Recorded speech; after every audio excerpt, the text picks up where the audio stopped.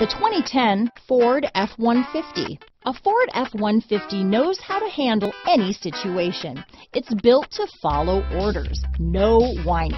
This vehicle has less than 85,000 miles. Here are some of this vehicle's great options.